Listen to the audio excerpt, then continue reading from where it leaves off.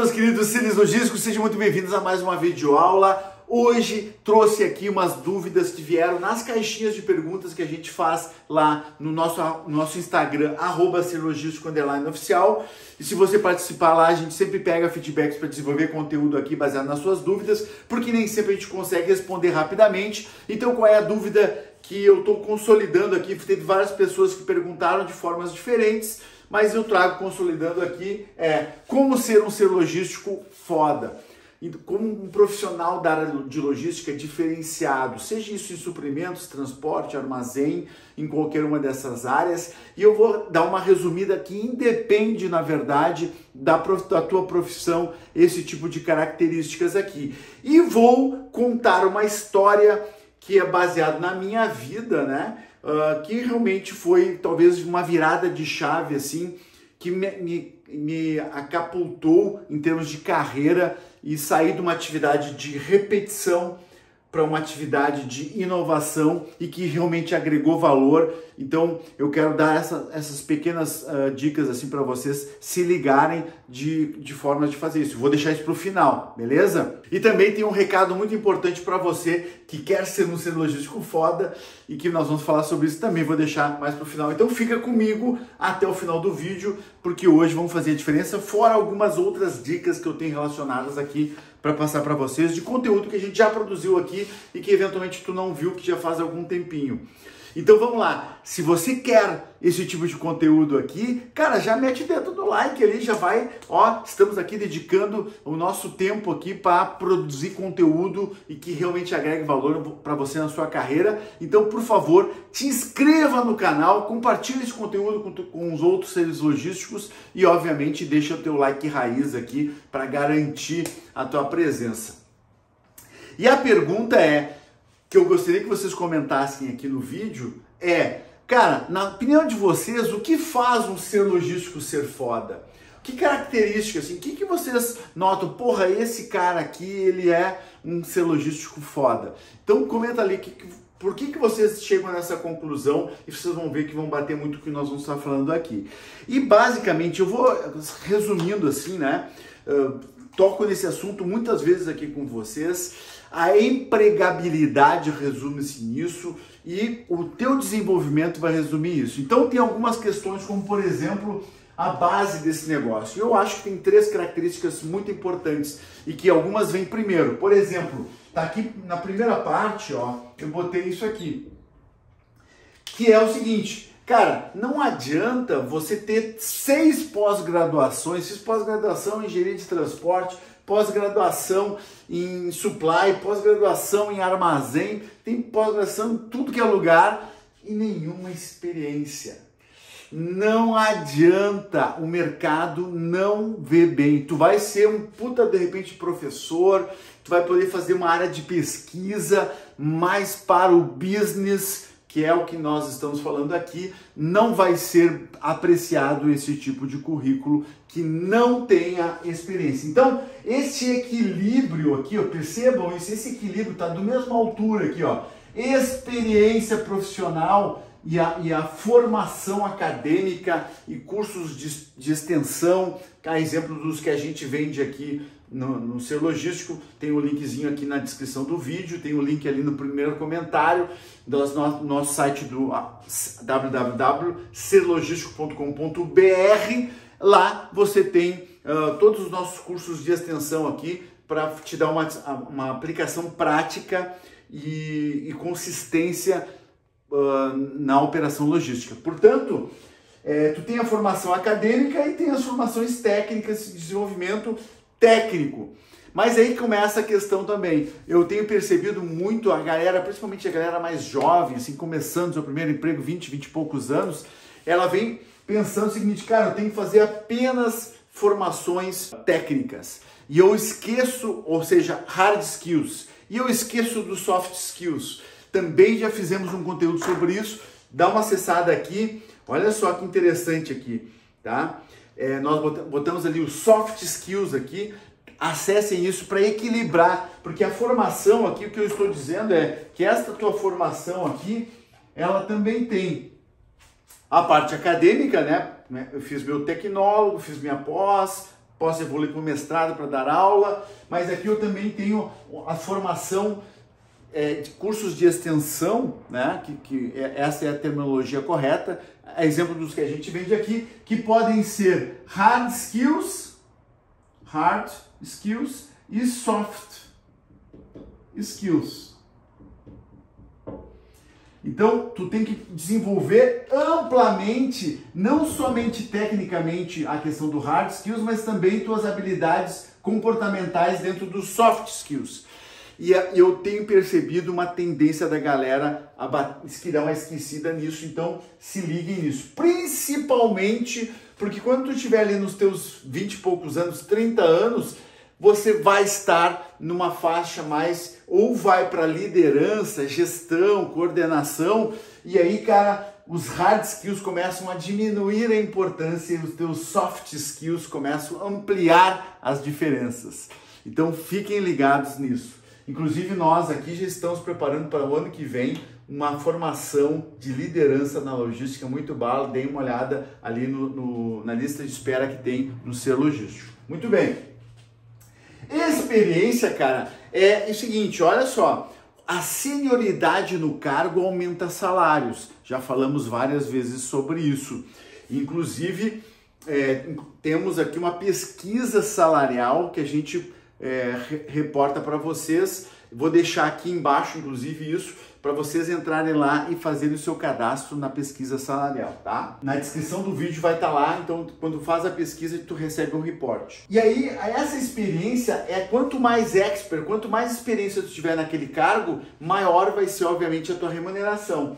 Então, a experiência e a formação juntos, ela vai te dar musculatura, vai te dar vai te dar uh, a maturidade para que você consiga ter, e aí sim, ó, chegar aqui. Ter um case de sucesso. Ou seja, você vai conseguir aplicar dentro da tua empresa, nessa experiência que está botando aqui, eu tenho, eu tenho, eu conheço o meu negócio, eu tenho a formação, eu conheço o que acontece fora do meu, da minha empresa e vou trazer aplicações aqui para o meu case de sucesso e vou ter resultado. E o mercado vai enxergar esse resultado. Ah, eu estou conseguindo fazer as entregas no primeiro dia, a minha curacidade do estoque está 99, alguma coisa, eu, eu tenho aqui uh, um tracking a, parte, a, parte de digitalização da minha operação, eu consegui implementar um WMS, implementei um TMS, tenho um roteirizador, eu tenho um tracking online de todo o meu sistema. Então são todos esses aspectos assim que uh, o teu case vai reportar. E aí, cara, tu vai pegar este case aqui e vai lançar ele dentro do teu documento lá, no teu currículo tu vai botar um case e vai botar o seguinte, cara, eu consegui reduzir o frete em tantos por cento. E aí tu vai pegar esse case de redução de custo de transporte, de melhoria de acurácia, de digitalização e tu vai botar no teu currículo e aí tu vai conseguir melhorar a questão de uh, visibilidade do teu conteúdo por aplicação, por resultado. Então, o cara para se tornar um ser logístico foda, ele tem que ter case de sucesso para mostrar resultado. É isso que vai fazer tu uh, se destacar no mercado. Resultados, velho. Não adianta, não adianta. O mundo é pragmático. A gente tem que ser aprender a ser medido do jeito que o mundo nos mede, que é através da do resultado. Então este case aqui vai ter que entregar grana. E essa grana tu tem que alimentar teu currículo, uh, fazer um casezinho, botar no LinkedIn, divulgar. Aí botou o ovo, vai lá e cacareja, né? aplica esse negócio.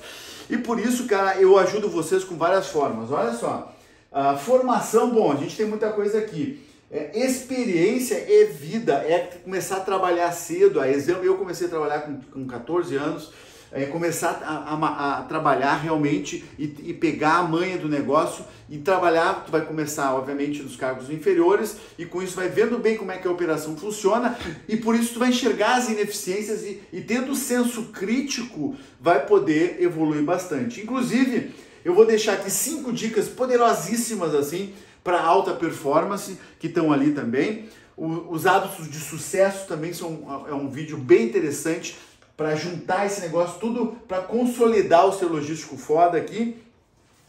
Uh, e aí, cara, eu venho aqui por umas características desse profissional, porque vai é, é assim, cara, tu pode observar todos esses profissionais que vocês eventualmente assim é, se inspiram, uh, acham eles interessantes, eles têm algumas características muito parecidas. Uma das primeiras é comprometimento. Eu posso botar aqui, ó, foco, tá? Olha aqui, ó, foco. Comprometido. O cara não tem plano A, plano B, plano C, plano D. Ele tem o plano A, que é gerar um case, que é ter foco em gerar um resultado. Então ele está comprometido com aquele resultado. Quando tiver um problema, esse cara vai ser o primeiro a levantar a mão, dá para mim esse problema que eu vou resolver. Porque o que faz a pessoa se destacar é resolvendo problemas, é, é, tirando a dor do negócio e isso destaca o profissional e é o cara que se apresenta, porque a maioria se esconde para não pegar esse tipo de atividade. Então, o foco no resultados, eu comentei ali, a questão da liderança, importantíssimo tu desenvolver, porque é, para você, em algum momento, no teu crescimento natural, tu vai precisar administrar outros times, pessoas, grupos, uh, e isso não é muito fácil. Então, normalmente a tendência do pessoal pegar ah, o melhor separador, bota ele então como gestor do turno, o, o, o melhor motorista bota, bota para controlar a frota e nem sempre esta, essa pessoa que tem a, a habilidade técnica, ela vai ter a habilidade uh, uh, comportamental de liderança. Portanto, desenvolvam isso. Não, ninguém nasce líder, a gente precisa desenvolver e não é fácil. Então, tá aqui essa característica importante para vocês ligarem. O que, que é o exemplo que eu vou ia dar que junta um pouco desse negócio todo? Da minha vida. Quando eu tinha lá meus 20 e poucos anos, Uh, eu tinha um chefe australiano, trabalhava na multinacional americana e, e, eu, tinha um chefe lá da divisão que era um cara australiano. O nome dele era Glenn Martin. Até hoje uh, eu me lembro muito bem dele uh, e me ajudou muito na, a me inspirar, né? E o Glenn, cara, ele tava assim 22 horas da noite, é, num dia de semana, bem atucanado, assim, tu via no cabelo bagunçado, que ele estava bem atucanado resolvendo os problemas, e eu era um auxiliar do auxiliar da área de TI, por incrível que passava, na verdade eu, eu, eu puxava cabos lá, eu, eu, eu consertava os computadorzinhos, eu fazia essa parada aí, não tinha nada a ver com a história, mas eu estava inserido dessa multinacional nessa época é tipo o meu primeiro emprego, assim, o, o, o, segundo emprego de carteira assinada, na verdade. Exatamente, meu segundo emprego de carteira assinada. E eu, eu pô, eu já tinha saído de bater caixa e estava indo agora para puxar fio, estava me sentindo privilegiado. E cheguei lá, eu vi o Glenn naquela situação e perguntei para ele. Eu lá fazendo hora extra, trabalhando forte. Cara, tu não quer que eu te ajude? Ou seja, tu tá com alguma dor aí, algum problema? Será que eu consigo te ajudar? Ele olhou para mim assim, tipo, ele não falou isso, ele foi educado, mas ele percebeu, porra, mas bem chique, tu não tem condições de me ajudar, tu nem sabe o que eu estou fazendo. E aí ele disse, não, muito obrigado, agradeceu e tal. E no outro dia, no outro dia, não foi uma semana, um mês depois, ele me convidou para trabalhar. E provavelmente, eu nunca perguntei isso para ele, mas provavelmente ele deve ter percebido assim: ah, esse cara aqui é um cara que está comprometido, ele quer ajudar, ele, ele teve iniciativa e talvez esse cara tenha um perfil comportamental que me interesse e me convidou para trabalhar com ele. Ele falava um português meio arranhado, eu não falava nada do inglês, aí eu comecei a desenvolver o meu inglês. Foi uma mudança muito importante da minha vida ali, porque eu comecei daí a conhecer a empresa que eu trabalhava de forma multi, é, internacional, acabei sendo transferido para fora do Brasil, trabalhei anos fora do Brasil, tive, pude conhecer o mundo inteiro uh, a trabalho através disso e talvez tenha sido ali a virada de chave quando eu estava me oferecendo para ajudar ele na minha simplicidade na época, querendo ajudar um executivo. E isso realmente fez a virada de chave na minha carreira. Fica aí, talvez, essa dica. O que, que eu ainda queria falar para vocês? Que nesse processo de desenvolvimento aqui, né, tem muita questão de livros. Nós temos uma playlist aqui sobre os livros, uh, vocês podem olhar, tem Cara, tem três vídeos nessa playlist com livros que podem te ajudar. Além de tudo isso, nós estaremos dia 26, 27 e 28 agora de setembro fazendo a imersão das estrelas da logística. Então, se você quer ser um ser logístico foda, precisa assistir essas três aulas totalmente gratuitas, totalmente online, no YouTube às 20 horas. Mas para isso, cara, tu precisa garantir a tua vaga te inscrevendo no link que eu vou deixar aqui, primeiro link da descrição do vídeo e lá embaixo nos comentários também vou deixar vai lá, mete o teu, o teu melhor e-mail ali, te cadastra e vem conosco de 26, 27, 28 por uma aula foda aí de imersão de estrelas da logística. Tem tudo a ver com o tema do conteúdo de hoje. Quero te ver lá. E finalmente te convidei então para continuar o teu desenvolvimento profissional e se tornar um executivo daqueles de primeira mão. Era isso que eu queria dividir com vocês hoje. Espero que tenham gostado. Não te esqueça do teu like. Se você achou esse conteúdo bacana, compartilha aí nos teus grupos de WhatsApp, compartilha isso com teus amigos e vamos fazer bombar uh, para que tenhamos mais e mais seres logísticos, que tem tudo a ver com o meu propósito atualmente aqui no canal do Ser Logístico, que é elevar o patamar da logística, elevar o patamar dos seres logísticos através da educação. Beijo no coração, era isso por hoje. Até o próximo vídeo. Valeu!